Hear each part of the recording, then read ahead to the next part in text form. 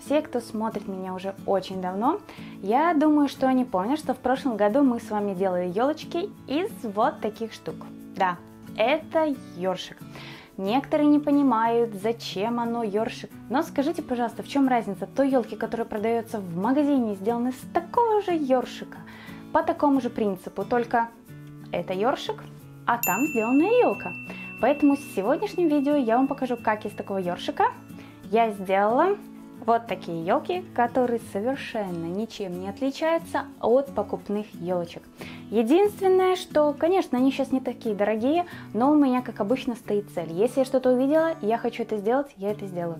И вам понадобится самый простой бутылочный ёршик. Он так и называется, бутылочный ёршик. Можете использовать любого размера.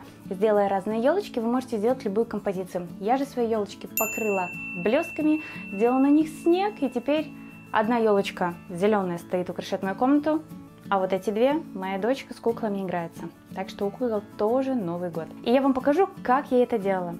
И делается это всего лишь пару минут. Ну что, вот мои елочки вблизи. Нравится мне результат, нравится, как смотрится на полочке. Также, я думаю, используя в любых своих работах, тоже будет интересно. Они очень красиво блестят. Вот эту, кстати, зеленую елочку я делала в прошлом году. Ссылку тоже на то видео оставлю. Я красила ее здесь сначала золотой краской, а затем вот я посыпала блестками. Поэтому у меня получился такой необычный зеленый цвет.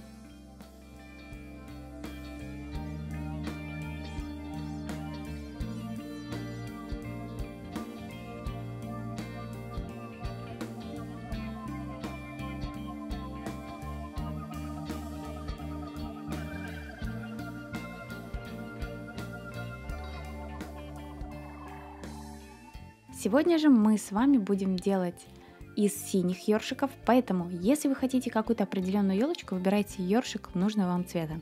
У меня не получилось, в магазине были только синие ёршики. Поэтому сегодняшняя елка тоже будет синяя. В первую очередь сверху мы откручиваем всю проволоку, которая закрепляет сверху наш ёршик, и загибаем все, так сказать, иголочки нашей будущей елки вниз. Делаем ей красивую верхушку. В одной своей елочке я допустила очень-очень большую ошибку. Я решила с верхушки не снять проволоку, а просто ее срезать. Поэтому в елочке розового цвета у меня получилась голая верхушка, на ней нет иголочек. Но на зеленой есть, потому что я сделала точно так же. Поэтому лучше открутить проволоку и опустить все иголочки вниз.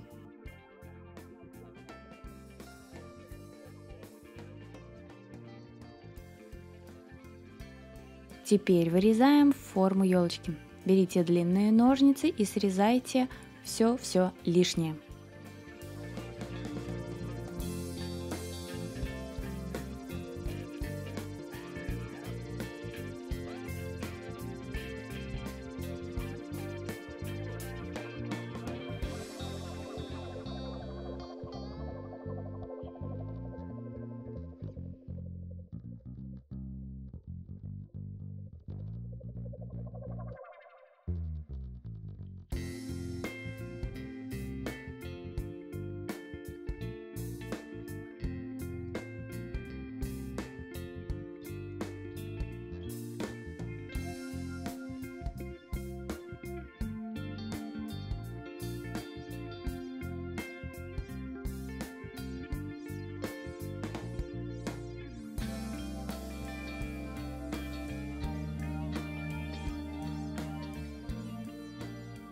Вырезали форму елочки, теперь укорачиваем ей ножку. Я беру пилочку по металлу, оставляю снизу где-то сантиметра два. Вы уже смотрите, хотите вы на длинной ножке свою елочку, на короткой.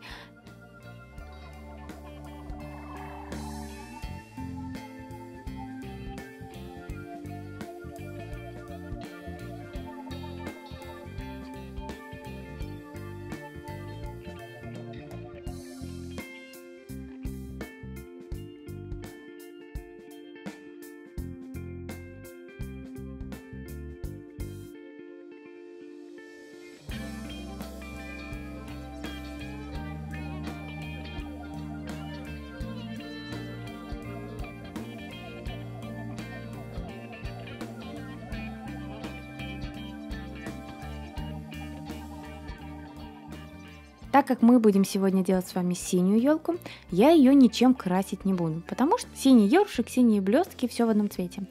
Розовую же елочку я красила белой краской. Покупила в магазине обычную эмаль, я люблю матового цвета и покрасила сначала в белый цвет, а затем уже посыпала блестками. Поэтому вы смотрите, если у вас ёршик такого цвета, как ваши блестки, то не стоит тратить время на то, чтобы высохла ваша краска.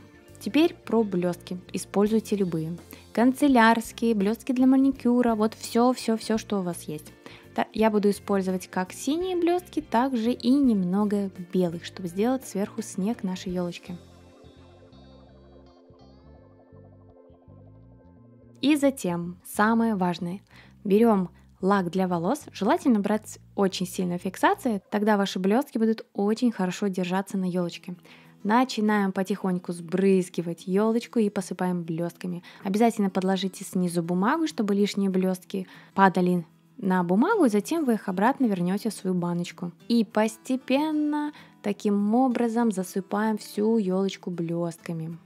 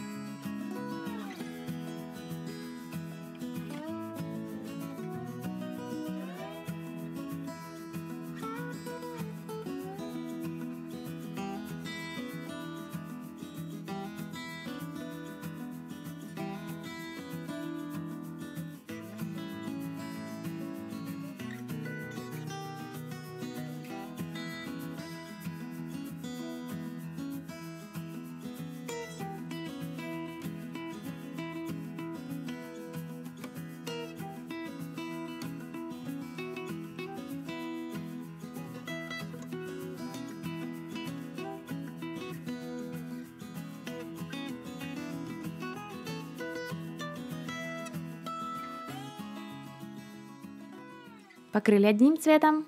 Теперь наношу лак только сверху елочки, засыпаю белыми блестками. Теперь у нас сверху появился немножко снежок и оставляем сушиться. Сушится она очень быстро.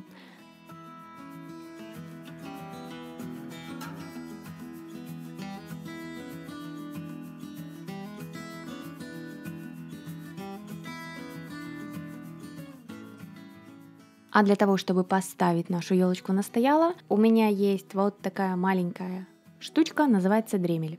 Я, кстати, в следующем видео о распаковке вам расскажу о нем поподробнее. Удобная штука и спил в диаметре 5 сантиметров, 5,5 и высота его полтора сантиметра.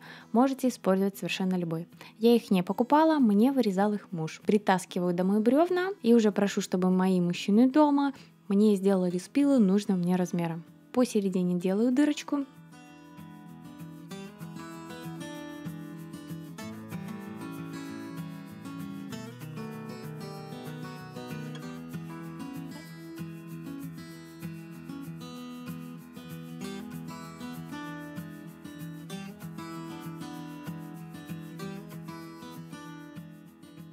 Можно использовать любой клей, Термоклей схватывается очень быстро, поэтому наношу капельку клея и быстренько вставляем туда свою елку. Иначе клей засохнет и вас туда елку вставить не получится. И на этом елка готова. Можно также сверху задекорировать бусинами, какими-нибудь стразинками. Это уже смотрите, как вам больше нравится. В итоге моя елочка выглядит вот таким образом. Мне нравится, главное, что нравится моей дочке.